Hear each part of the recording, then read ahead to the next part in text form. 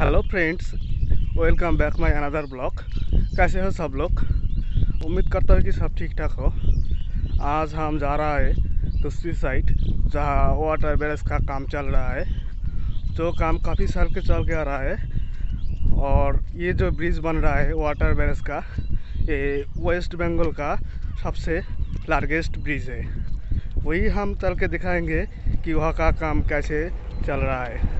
वो ब्रिज भी दिखाएँगे, जो वेस्ट बंगाल का सबसे लार्जेस्ट ब्रिज है। तो फिर चलिए देखते हैं कि वाटर बैरेज का काम कैसे चल रहा है।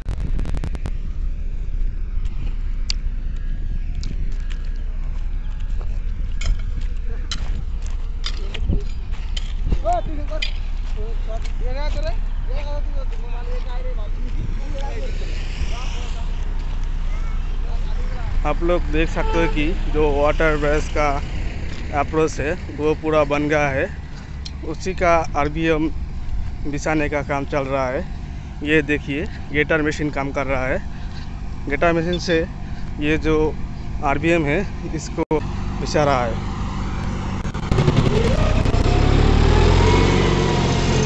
गेटर मशीन का जो लीवर है स्टार्टिंग के बगल में, वही लीवर हिलाने पर जो ब्लेड है गेटर मशीन का वो ऊपर नीच और लेफ़्ट और राइट में करते हैं।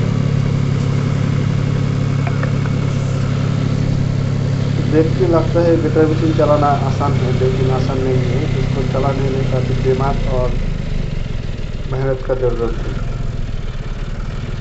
ये देखिए, कैसे रिवर हिलाने से ब्लेड हिल रहा है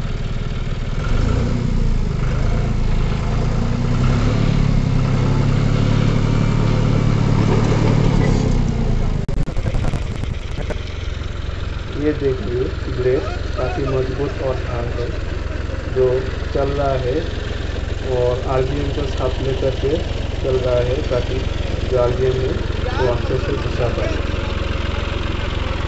ये जो है जॉन डियर का गिटार मशीन है, ये थ्री सिलेंडर का है और ये जो है फोर गियर सिस्टम गिटार मशीन है, जो बहुत ही ताकतवर और शानदार है।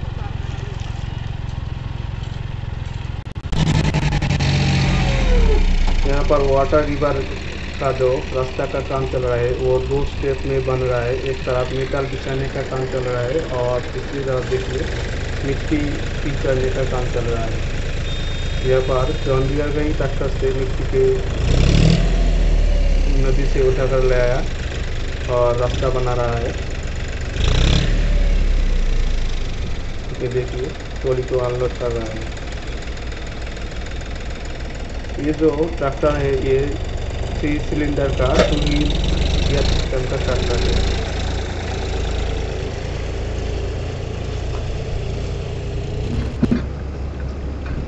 और ये मिट्टी को जो एक्सकावेटर है हुंडई का वही से लेवल करेगा।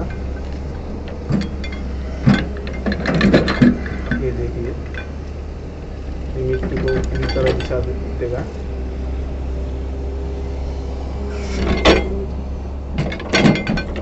और पानी भी डाल रहे हैं ताकि जो मिट्टी है, वो पूरी तरह कम्पैक्ट हो जाए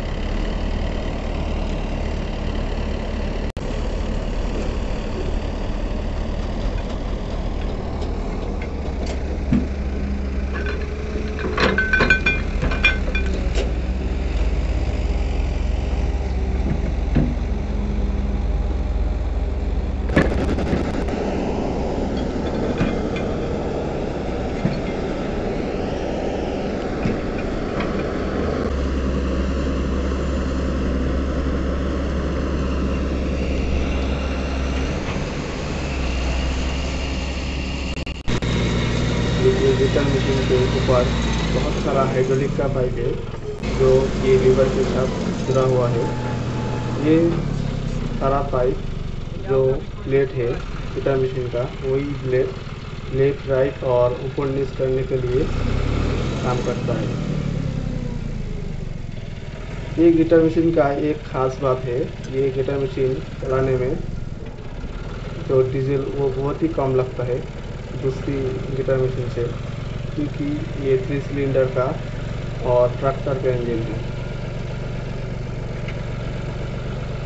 ऐसे और जो गिटार मशीन है, वो एक दिन चलने में पैंतीस से चालीस रुपया तेल लगता है। लेकिन ऐसे ये गिटार मशीन में बीस लीटर तेल ज़्यादा हो जाता है। ये देखिए लीवर हिलाने से तेल कैसे मिलता है।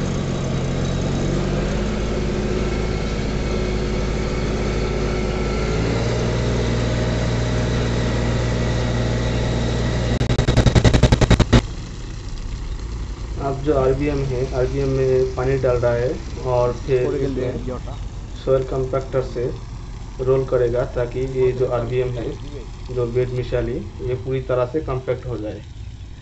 और फिर अगले दिन भी इसी तरह पानी डालेगा और फिर रोल करेगा।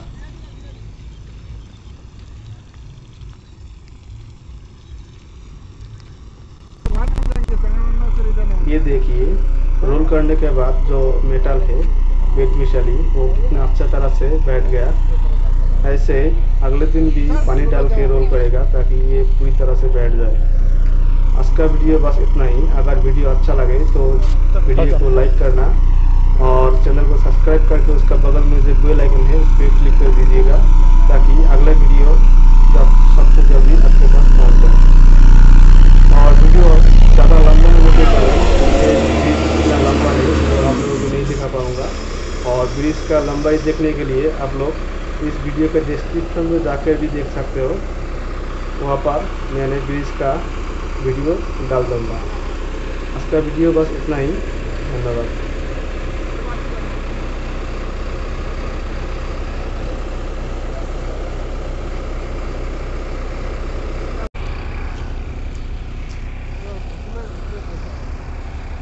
Yeah.